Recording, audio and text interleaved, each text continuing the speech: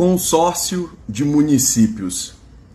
Consórcio de municípios, eles são regulamentados por um decreto. A partir de dois ou mais municípios, vocês podem formar consórcios. Qual a finalidade de se ter um consórcio de municípios? Unir forças. Unir forças na captação de recursos. Alguns municípios operam através de consórcios, outros operam através de associação de municípios.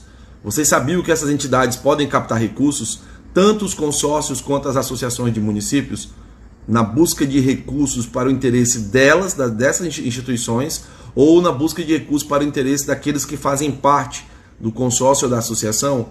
Olha que interessante. Em 2022, foram realizadas diversas captações para esse tipo de entidade, como, por exemplo, implantação de biodigestores em escolas públicas, para todos que fazem parte do consórcio ou da associação.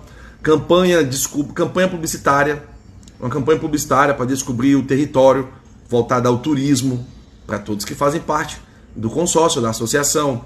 A construção ou aparelhamento de um laboratório para todos ou para parte dos municípios que fazem parte do consórcio da associação. Não precisa atender todos, pode atender apenas um município, ou alguns municípios, ou todos eles que fazem parte. A estratégia de se unir através de consórcios e associações é muito forte e ela precisa ser utilizada. Você já pensou em captar recursos para o seu consórcio ou associação municipal?